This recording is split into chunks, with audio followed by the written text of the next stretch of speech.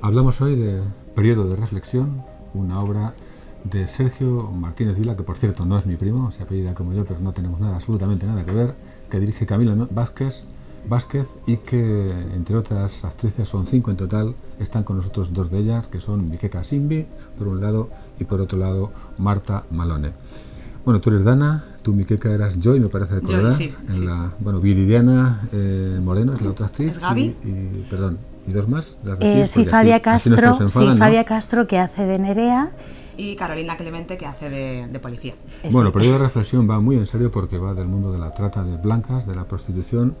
Y bueno, yo de esto modestamente sé un poco porque entre otras cosas escribió un libro hace unos cuantos años que tenía que ver directamente con ese tema y a mí me removió el cuerpo el día que fui a veros porque está muy muy bien condensado el asunto y vosotras estáis absolutamente en vuestros papeles porque yo tenía ganas de pegarte cuando llegases, Marta.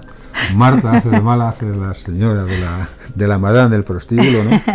Bueno, hago Y de... la que más sufre eres tú, precisamente. Sí, la sufridora. Joy, la ¿no? sufridora durante Mm. todo el tiempo. Es que ella es la última en llegar y yo he sido la primera en llegar al prostíbulo, entonces ya ha pasado un tiempo y claro, yo ya me he hecho a una vida que es Fuiste, so- sobrevivir. fuiste antes cocinera que, fue, que- Claro. que monja, ¿no? Claro. En este caso, ¿no?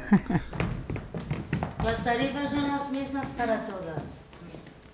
Horario son 20 euros, 10 euros de sexo, cuarto privado son 30, mamada y sexo 50, la media hora son 100 euros y la hora la tenemos de oferta 135, con sexo anal 150. Los besos en la boca se cobran, ¿eh? Si no, las chicas no dan. ¿Ok? Son 15 euros cada beso. La mamada es mamada y no beso. Para cosas más especiales tenemos otros precios. Pero primero lo habláis conmigo. Bueno, ¿cómo preparasteis esto? ¿Metisteis en el mundo de la prostitución? ¿Preguntasteis o cómo lo Pues hicisteis? sí, nos hemos documentado bastante, sobre todo con conferencias de Sonia Sánchez, que fue una ex mujer tratada, que ahora se dedica pues eso, a hacer conferencias contra la trata. Y bueno, la verdad es que cada una luego por nuestro lado también tuvimos datos sobre las entrevistas que hace la policía con, con, a- con aquellas mujeres. Tú necesitas saber. Sí, necesito saber. Ok. Me pega. Me viola. Sexo fuerte, fuerte. No como sexo, es muy, muy, muy, muy dolor. ¿Quién? ¿Quién? ¿Quién no? ¿Quién? Muchas personas, clientes, tus jefes, ¿quién? No, ¿Quién? no, no es mi trabajo. No es el trabajo de nadie recibir un trato No, vejatorio. no, Joy. listen, listen. This is not my job. Y luego cada una por nuestro lado, yo por ejemplo, pues para buscar el acento he tenido que buscar un poco a mi familia, que me hagan, pues eso, que me dieran referencias, frases. Bueno, que... yo en la obra es congoleña Sí, y tú también eres congoleña. ¿no? yo también soy congoleña, sí. Por lo menos de origen, ¿no naciste De ahí o- origen. Bueno, nací en Portugal. Ajá. Sí.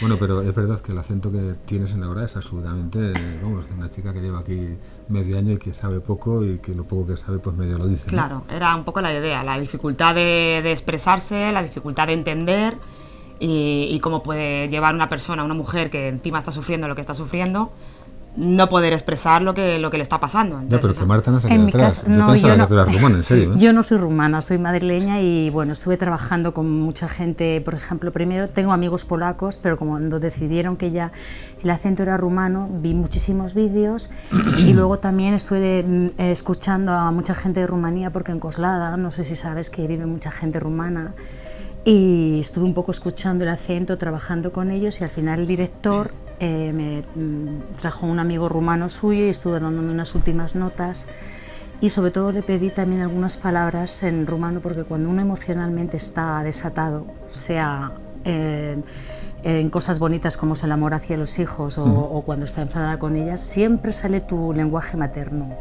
Eh, si tú estás hablando en inglés y estás muy molesto con alguien, te va a salir seguramente un insulto en, español.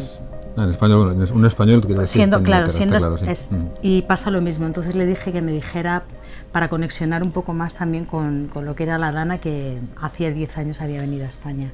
El mundo de la prostitución es un mundo sórdido, el maltrato, el, en fin, la- el abuso de todo tipo está a la orden del día. Y yo el día que fui a, a ver periodo de reflexión, escuché no son risas, risas entre la gente. ¿Eso es común o...?